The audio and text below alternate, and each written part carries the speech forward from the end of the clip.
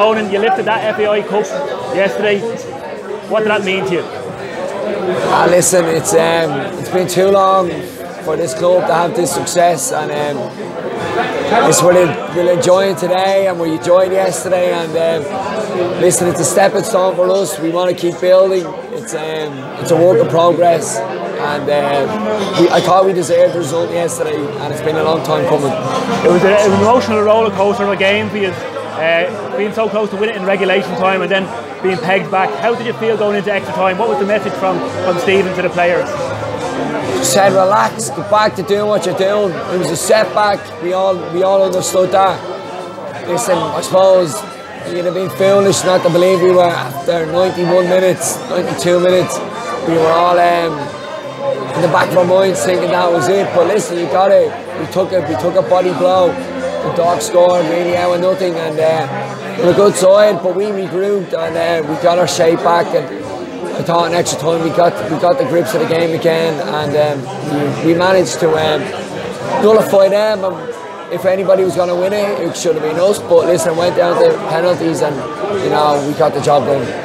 Greg Bolger, you were one of the penalty takers there yesterday for Shamrock Rovers, and you put it away. How did you feel after you compared to that? Uh, relief, really. Um, no, I was just look took a penalty before on Gary Rogers in the cup final and I was uh, a bit nervous thinking well, I went the same way would he, would he guess the right way but um, I just thought I hit it well enough and we shouldn't be stopping it. And uh, luckily it went in, so yeah, happy days, buzzing, relief.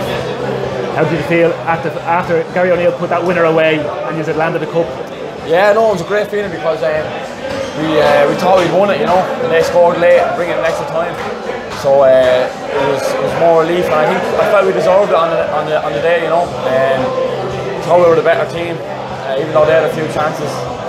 But um, yeah, no, it was just pure relief and just buzzing for everyone. The club, the players, the fans, the management, everyone. It was just uh, a great feeling, yeah. It's been a long time coming for Shamrock Rovers. The cup means so, lot, so much for them. Uh, simply by virtue of the fact that they haven't won it for so long. Yeah.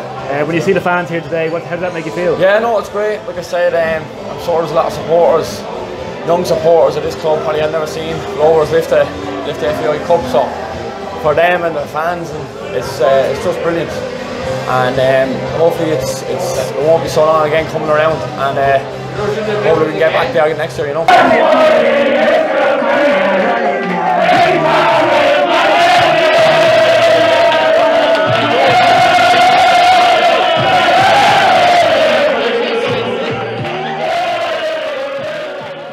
Roberto, it was a great match, emotional roller coaster. I'm sure of you.